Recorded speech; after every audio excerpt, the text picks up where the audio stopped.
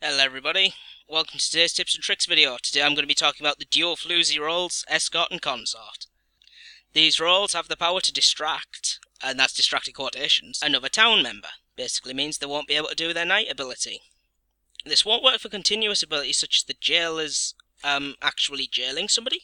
However, it will work with the execution on the jailer. You'll be able to deny the arsonist any douses or setting on fires that he may ha- want to do, or various other roles. But we'll go through that in a minute. So, I'm going to start with the escort. First thing I'm going to tell you about is not to role block early on in game modes such as Classic, most of the town is townies. So it's not going to help if you hinder the town by accidentally um, distracting a townie. So I would highly advise Night 1 and maybe even Night 2 not actually distracting anybody.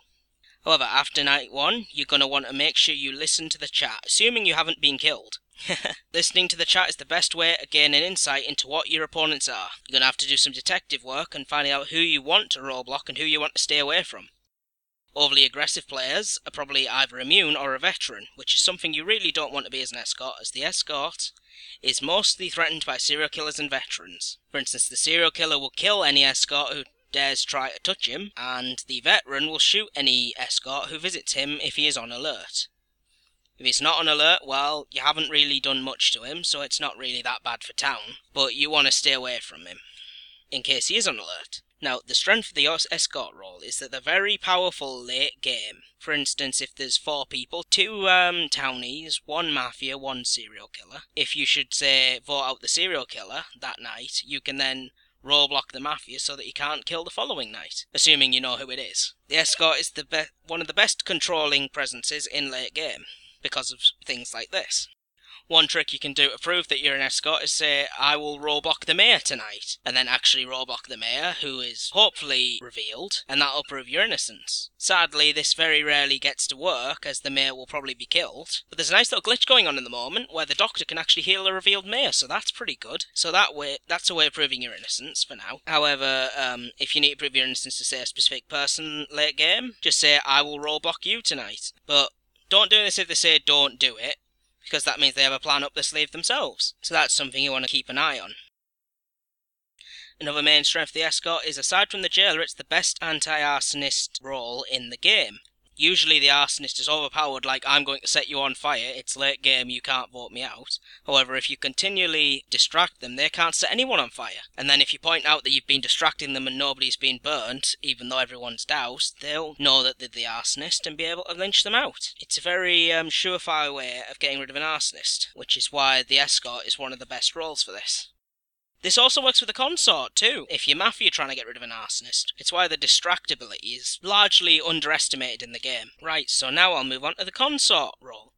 Now the consort role is exactly the same as the escort, you can role block somebody at night, except you're also mafia.